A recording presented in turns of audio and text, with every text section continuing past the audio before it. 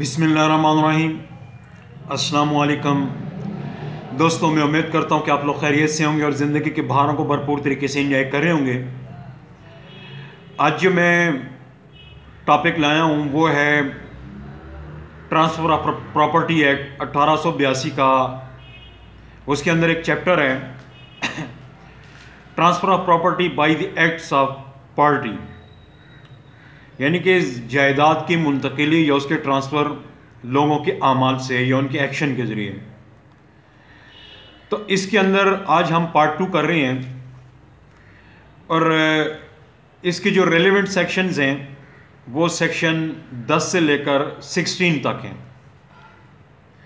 اور اس کے اندر جو میجر چیز ہے جو میں آپ کو بتانا چاہتا ہوں، جو آج کا ہمارا ٹاپک ہے، وہ ہے کہ جب آپ کوئی زمین خریدتے ہیں یا ٹرانسفر جو ہوتی ہے، منتقلی جو ہوتی ہے، اس کے اوپر، اس کی جو ٹرانسفر کے اوپر جو انلیگل قسم کی وہ جو شرائط عائد کی کر دی جاتی ہیں، ان کو کیسے ریموو کیا جاتا ہے؟ یا وہ کیسے قانون کی نظر میں فاربیڈن ہوتی ہیں؟ یا ٹرانسفر کے اوپر دیگر جو قادغان لگائی جاتی ہیں، ان کے بارے میں آج ہم ڈسکس کریں گے۔ تو دوستو ٹاپک پر آنے سے پہلے میں آپ لوگوں سے گزارش کرتا چلوں، یہ جو میرا چینل ہے پلیٹ فار جسٹس کائنڈلی آپ اس کو سبسکرائب کر دیں۔ اس سے میری انکریجمنٹ ہوتی ہے۔ اور ساتھ میں جب بیل آئیکن ابھرے، آپ اس کو بھی پریس کر دیں۔ اس سے میری ہر نئی آنے والی ویڈیو آپ کو ان ٹائم اور باتات ملتی رہے گی۔ تو دوستو، آتے ہیں آپ سیکشنز کے اوپر ٹاپک کے اوپر۔ تو اس کی سب سے پہلی سیکشن جو ہے، وہ سیکشن ٹین ہے۔ سیکشن ٹین کہتی ہے condition restrict restraining alienation condition restraining alienation اس کا مطلب یہ ہے کہ وہ شرائط جو فروخت کے اوپر عائد کی جاتی ہیں۔ اب اس میں انہوں نے یہ کہا ہے کہ جب کسی پراپرٹی کو اگر اس بنیاد کے اوپر، ان شرائط کے اوپر اگر منتقل کیا جائے ٹرانسفر کیا جائے کسی دوسرے بندے کو یعنی کہ ٹرانسفرر اگر کسی ٹرانسفری کو یا منتقل کنندہ، منتقل علیہ کو یا جو زمین بیچنے والا، زمین خریدنے والے کو اس شرط کے ساتھ اگر وہ زمین فروخت کرتا ہے کہ بھائی تم اس زمین کو مزید فروخت نہیں کر سکتے، تم اس کو منتقل نہیں کر سکتے تم اس کو رین نہیں دے سکتے، تم اس کو لیز کے اوپر نہیں دے سکتے۔ تم اس کو کرائے کے اوپر نہیں دے سکتے۔ تو یہ جو شرائط ہیں جو بیچنے والا اگر وہ امپوز کرتا ہے، تو وہ غیر قانونی ہے ان کی قانون کے نظر کے اندر کوئی حیثیت نہیں ہے۔ سیکشن ٹین جو ہے ٹرانسفر آف پراپرٹی ایکٹ کی، یہ اس کے اوپر قدغن لگاتی ہے اور کہتی ہے کہ تم بیچ سکتے ہو زمین، اس طرح کی جو وہ ہوں گی، وہ کنڈیشنز ہوں گی، جو شرائط ہوں گی، وہ غیر قانونی ہوں گی، وہ انلیگل ہیں۔ مثال کے طور پر، میں آپ سے زمین خریدتا ہوں اور آپ میرے اوپر زمین فروخت کرتے ہیں۔ آپ ہو گئے سیلر میں ہو گیا بائر میں نے آپ کو پیسے دیے، آپ سے زمین لے لی۔ آپ میرے اوپر یہ شرط عائد کرتے ہیں اور اس کاغذ کے اوپر لکھ لیتے ہیں۔ کہ بھائی آپ نے یہ زمین بیچ نہیں سکتے ہو۔ یہ زمین تم آگے مٹ گیج نہیں کر سکتے ہو۔ یہ زمین تم آگے کسی کو لیز کے اوپر نہیں دے سکتے ہو۔ یہ زمین اس کا تم کسی کے ساتھ ایکسچینج نہیں کر سکتے ہو۔ اور اس زمین کو تم کسی آگے فردر منتقل کسی بھی صورت کے اندر نہیں کر سکتے۔ تو بھائی یہ جو شرائط آپ میرے اوپر امپوز کریں گے، یہ ساری الیگل ہیں۔ سیکشن ٹین کے روح سے یہ تمام شرائط جو ہیں، جو فروخت کے اوپر عائد کرتا ہے، بیچنے والا، زمین ٹرانسفر کرنے والا، فروخت کرنے والا، تو یہ ساری غیر قانونی ہیں۔ اس کے بعد آ جاتی ہے سیکشن گیارہ۔ اب سیکشن گیارہ کیا کہتی ہے؟ اب سیکشن گیارہ پہ آنے سے پہلے ایک چھوٹی سی چیز جو سیکشن ٹین میں رہ گئی ہے، اس میں انہوں نے ایک ایک دو چیزیں مزید کی ہیں۔ وہ یہ ہے کہ اگر لیز کا معاہدہ ہوتا ہے، تو لیز کے معاہدے کے اندر آپ یہ شرائط امپوز کر سکتے ہیں۔ یا اس میں ایک اور شرط انہوں نے یہ رکھی ہے کہ اگر کوئی پراپرٹی کسی مسلم عورت کو اگر دی جاتی ہے، تو وہ during the course of marriage اس زمین کو فردر ٹرانسفر نہیں کر سکتی۔ اور نہ ہی اس کے اندر جو انٹرسٹ ہے اس کو تبدیل کر سکتی ہے۔ اب اس کے بعد آ جاتی ہے سیکشن گیارہ۔ اب سیکشن گیارہ کیا کہتی ہے؟ سیکشن گیارہ کہتی ہے کہ restriction repugnant to interest created اب اس کے اندر یہ ہے کہ جو جائیداد، اس کا پہلے میں آپ کو خلاصہ یا لب لباب بتا دیتا ہوں تاکہ آپ کو بات کی سمجھنے میں آسانی ہو۔ وہ یہ ہے کہ جب زمین خریدی جاتی ہے اس کو ٹرانسفر کیا جاتا ہے، تو اس کے اندر بیچنے والا، زمین بیچنے والا، یہ اگر کوئی شرط امپوز کرتا ہے کہ بھائی تم اس زمین کے اندر گھر نہیں بنا سکتے، اس زمین کے اندر تم دکانیں نہیں بنا سکتے، اس زمین کو تم اپنی مرضی سے استعمال نہیں کر سکتے، اس زمین کے اندر تم فلاں فلاں چیز جو ہے یا فلاں فصل جو ہے وہ کاشت نہیں کر سکتے۔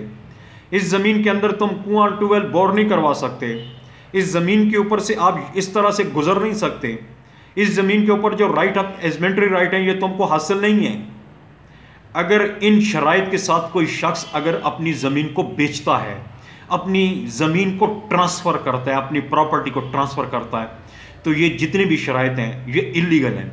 سیکشن گیارہ کی روح سے یہ جتنی بھی ٹرانسفر یہ یہ جو شرائط ہیں، جو اگر بیچنے والا ان شرائط کے اوپر بیچے کہ یہ جو یہ جو میری شرائط ہیں کہ تم یہاں پہ گندم کی فصل کاشت نہیں کرو گے یہاں پہ تم مکان نہیں بناؤ گے یہاں پہ تم دکان نہیں بناؤ گے یہاں پہ تم استبل نہیں بناؤ گے یا تم سکول نہیں بناؤ گے یا کوئی ایکس وائی زیڈ کام نہیں کرو گے تو اس طرح کی جو ریسٹرکشن عائد کر کے کوئی بندہ اپنی زمین بیچتا ہے، تو اگر وہ جو خریدنے والا ہے، اگر وہ اس زمین کو آگے مزید منتقل کرنا چاہتا ہے تو پھر ان جو ریسٹرکشن کی جو جو لگائی گئی ہیں، ان کی کوئی حیثیت نہیں ہے قانون کی نظر میں۔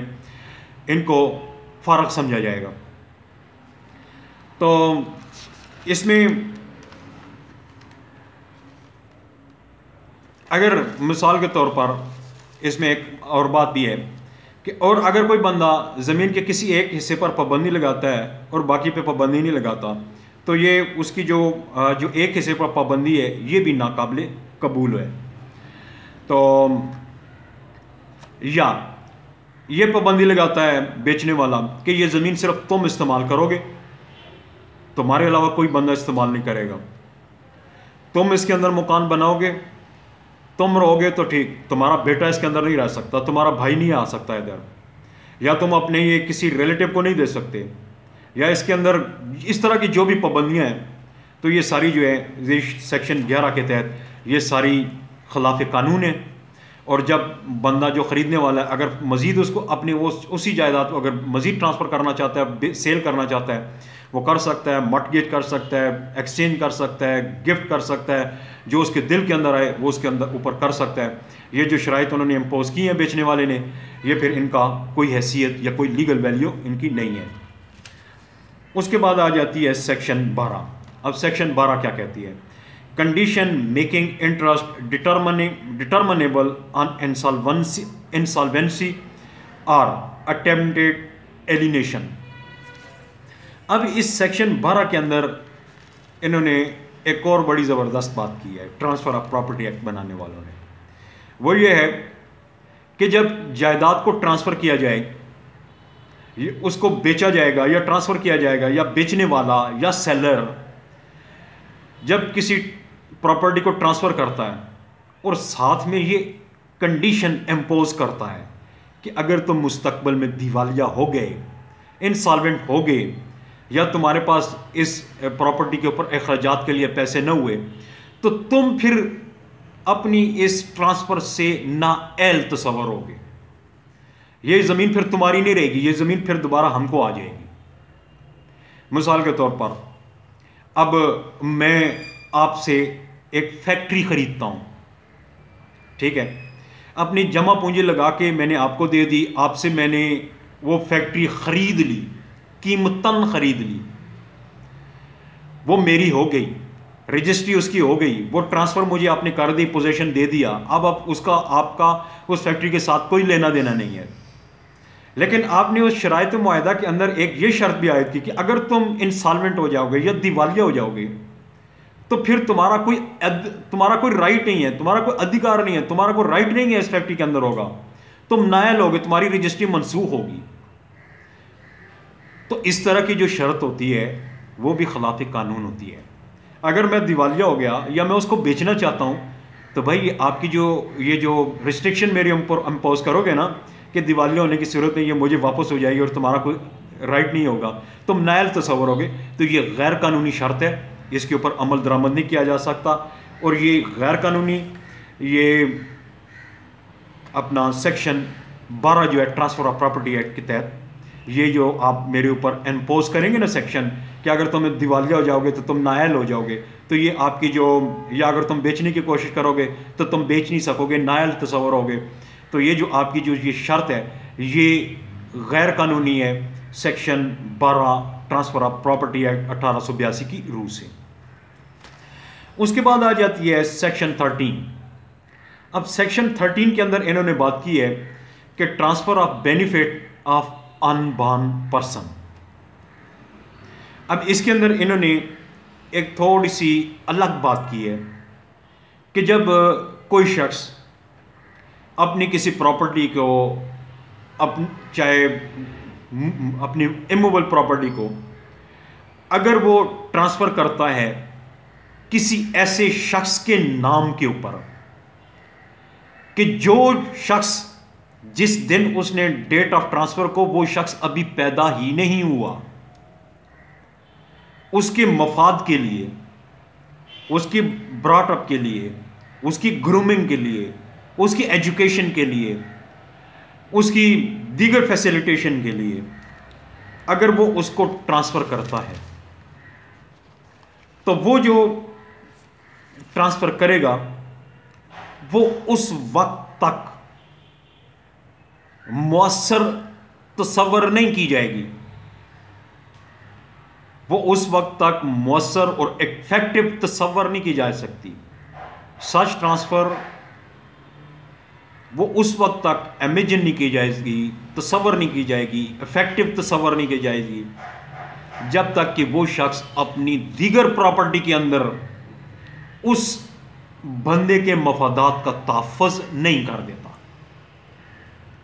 اب یہ کیسے ہو گیا کہ ایک شخص فار ایگزامپل میں اپنی مثال دیتا ہوں، میں اپنی پراپرٹی اپنے کسی ایسے بچے کے نام کرتا ہوں جو ابھی پیدا ہی نہیں ہوا۔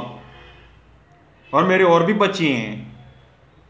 اور میں یہ کہتا ہوں، تو قانون یہ کہتا ہے سیکشن تھرٹین یہ کہتی ہے کہ یہ میری جو ٹرانسفر ہے، اس وقت مؤثر ہوگی، اس وقت افیکٹو ہوگی۔ جب میں اس بچے کو اپنی ریمیننگ پراپرٹی کے اندر بھی اس کو، اس کے مفادات کا خیال رکھوں گا۔ اگر میں ریمیننگ پراپرٹی کے اندر اس کے مفادات کا خیال نہیں رکھتا تو پھر وہ مؤثر نہیں ہوگی۔ اگر میری اس ٹرانسفر کی وجہ سے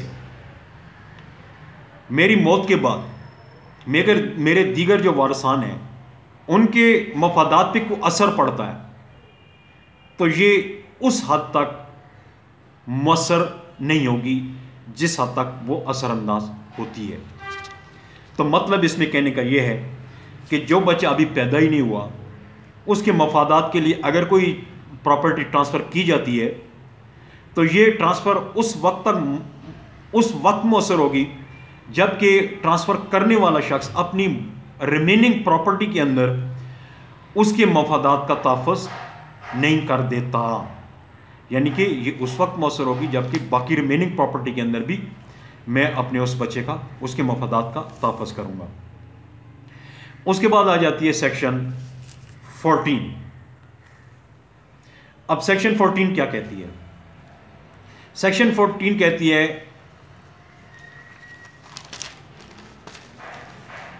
کہ رول اگینسٹ پرپیچوٹی اب رول اگینسٹ پرپیچوٹی کیا چیز ہے؟ یہ رول اگینسٹ یا پہلے میں آپ کو تھوڑا سا بتا دیتا ہوں کہ رول آف پرپیچوٹی کیا ہے۔ یہ ایک ایسا حق ہے کہ جائیداد منتقل کرنے والا جب جائیداد منتقل کرتا ہے تو اس کے ہنڈریڈ پرسنٹ جو انٹرسٹ ہوتے ہیں، اس کے اوپر جو حقوق ہوتے ہیں، انکم کا حق ہوتا ہے، منافع کا حق ہوتا ہے، ریزیڈنس کا حق ہوتا ہے یا دیگر جو حقوق ہوتے ہیں، ان کو سوری اپنی موت تک کے عرصے کے لیے ان کو محدود کر دیتا ہے۔ فار ایگزامپل اگر میں اپنی جائیداد منتقل کرتا ہوں، آپ کو، اور میں نیئر ٹو ڈیتھ ہوں، میں عمر رسیدہ ہو چکا ہوں۔ سوری اور میں آپ کے ساتھ یہ معاہدہ کرتا ہوں کہ بھائی میں اپنی یہ پراپرٹی جو ہے آپ کو ٹرانسفر کرتا ہوں لیکن میری شرط یہ ہے کہ یہ اس کے اندر جو رائٹ آف انکم ہے رائٹ آف رینٹ ہے رائٹ آف لیونگ ہے، میری موت تک، یہ تو مجھے، یہ میں اس وقت تک ان کو قطعی تصور نہیں کروں گا منتقل جب تک کہ میری موت باقی نہیں ہو جاتی۔ اور اس میں صورت یہ ہوتی ہے جی کہ وہ بندہ بوڑھا ہوتا ہے، اس کا خیال کر رکھنے والا کوئی نہیں ہوتا۔ میں بوڑھا ہو گیا یا میرا خیال رکھنے والا کوئی نہیں ہے، تو میں ان شرائط پہ یہ اگر زمین بیچتا ہوں کسی بندے کو کہ بھائی میں جب تک مر نہیں جاتا، اس وقت تک یہ آپ کا یہ جو انتقال ہے یا آپ کا جو موٹیشن ہے، اس کو آپ کنکلوسیو یا قط ہی تصور نہیں کریں گے۔ اس کو کہتے ہیں رول آف پرپیچوٹی اب یہ رول آف پرپیچوٹی ہے، اس کی ہمارے اسلام کے اندر تھوڑی بہت گنجائش موجود ہے۔ اور اور جو سیکشن چودہ جو ہے، یہ سیکشن چودہ جو ہے، یہ رول آف پرپیچوٹی جو ہے اس کے خلاف ہے۔ یعنی یہ رول، یہ یہ جو سیکشن فورٹین ہے، یہ کہتی ہے رول اگینسٹ پرپیچوٹی۔ اس میں یہ کہا گیا ہے کہ کوئی ایسی ٹرانسفر یا منتقلی جائز اور قانونی نہیں ہوگی جو ٹرانسفر کرنے والے شخص کی موت سے مشروط ہو۔ اب یہ جو سیکشن فورٹین ہے، یہ کہتی ہے کہ اگر کوئی شخص منتقل کرنے والا یا ٹرانسفرری ٹرانسفرر اپنی پراپرٹی کو ٹرانسفر کرتا ہے ان شرائط کے ساتھ کہ اس کے اندر جو یہ جو رائٹس ہیں right of income right of rent right of جو residence up to the extend of my death تو یہ غیر قانونی ہے۔ تو یہ سیکشن فورٹین کے تحت یہ غیر قانونی ہے۔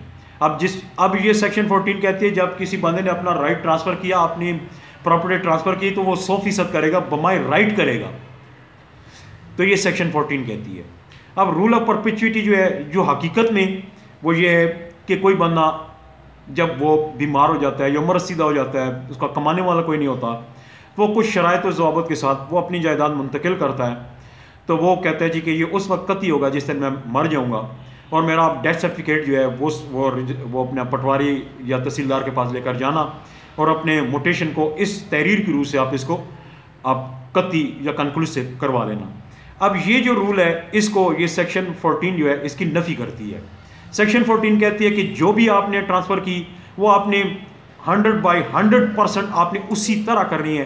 اگر آپ بوڑھے ہیں، مرنے والے ہیں، جو بھی ہیں، یہ ہے section fourteen transfer of property act اس بات کو نہیں دیکھتی کہ آپ بوڑھے ہو۔ وہ کہتی ہے کہ اگر آپ نے ٹرانسفر کیا ہے، تو آپ نے ساری ٹرانسفر کر دینی ہے۔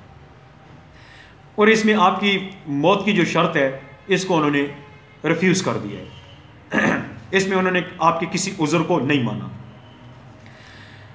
اس کے بعد آ جاتی ہے سیکشن ففٹین سیکشن ففٹین کہتی ہے کہ transfer of class some of whom comes under section thirteen and fourteen of this transfer of property اس کے اندر انہوں نے بات کی ہے کہ ٹرانسفر کی صورت میں اگر کوئی پراپرٹی ٹرانسفر کی جاتی ہے اور جو لوگ ٹرانسفر کرتے ہیں سیکشن تھرٹین اور فورٹین کے تحت، اور اس ٹرانسفر سے اگر کسی بندے کے مفادات کو کوئی نقصان پہنچتا ہے، تو وہ صرف ان لوگوں کی حد تک وہ انویلڈ ہوگی، یا ناجائز ہوگی، یا اس کو ناکام تصور کیا جائے گا کہ جن کہ جن لوگوں کی حد تک یا جن کے کہ جس ٹرانسفر کی وجہ سے جن لوگوں کو نقصان پہنچتا ہے، صرف اس حد تک اس کو ناکام تصور کیا جائے گا۔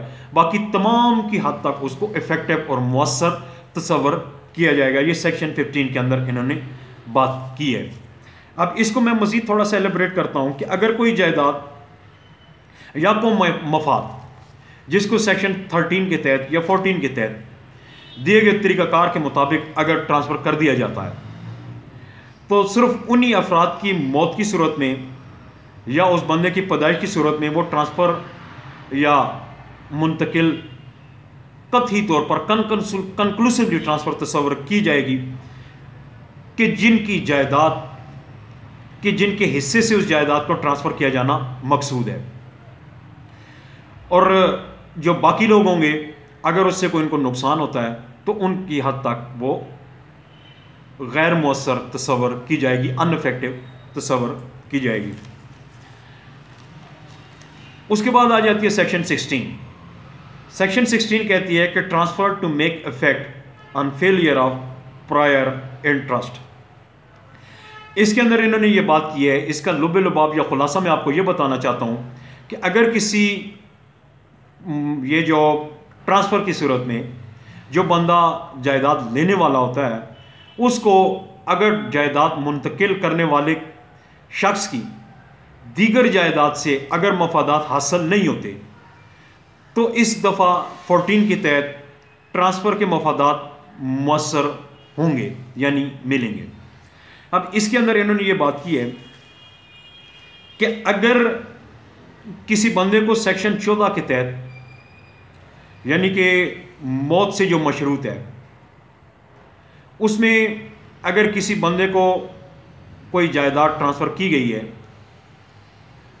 اور اس کو مرنے والے کی دیگر جو جائیداد ہے، اس سے کوئی انٹرسٹ حاصل نہیں ہوتا اور یا جو مرنے والے کی دیگر وہ رسائے ہیں، ان کی وجہ سے اگر اس کو نقصان نہیں ہوتا، تو یہ جو پراپرٹی ہے، جو اس بندے کے پاس آئی ہے صرف اس کو وہی ملے گی اگر اس کو دیگر مفادات یا پراپرٹی کے اندر شیئر یا باقی جو اس کے انٹرسٹ ہیں یا پراپرٹی ہے، اگر وہ نہیں ملتے، تو یہ جو سیکشن چودہ کے تحت اس کو وہ اس بندے نے ٹرانسفر کی ہے، یہ صرف اسی حد تک پھر یہ لینے کا انٹائٹل ہوگا۔ مطلب اگر جو ٹرانسفر کرنے والا ہے، اس کو کلی جائیداد اس کی نہیں ملتی، تو صرف وہ جائیداد جو اس کو ٹرانسفر کی ہے، جو موت کے ساتھ مشروط ہے، تو صرف وہی اس کو مل سکتی ہے۔ یا بلفاظی دیگر آپ یوں کہہ سکتے ہیں کہ جہاں یہ جو سیکشن تھرٹین فورٹین میں درج کسی رول کی وجہ سے کوئی مفادات، مفاد پیدا ہوتا ہے، کسی شخص کے فائدہ یا اشخاص کے فائدے کے لیے، اگر وہ تمام لوگ اس فائدہ یا مفاد دینے میں ناکام ہو جاتے ہیں، تو ٹرانسفر اس وقت مؤثر ہوگی اس شخص کے حق میں کہ جس کے حق میں جائیداد ٹرانسفر کی گئی ہے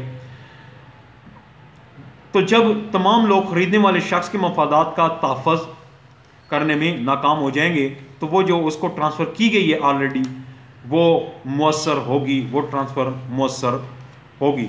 ادروائز سیکشن چودہ کی روح سے وہ ٹرانسفر جو ہے، اس کو نل اینڈ وائٹ ڈکلیئر کیا گیا ہے۔ تو دوستوں میں سمجھتا ہوں میرا آج کا ٹاپک آپ کو کلیئر ہو گیا ہوگا، آپ کو سمجھ بھی آ گیا ہوگا۔ اگر آپ کا کوئی کویشچن ہے، کوئی کوئری ہے اگر آپ اس کو پوچھنا چاہتے ہیں تو آپ مجھے کمنٹس بھی کر سکتے ہیں اور میری نئی ویڈیو کے آنے تک میں آپ لوگوں سے اجازت چاہوں گا۔ اجازت نہیں. اللہ حافظ اینڈ وش گڈ لک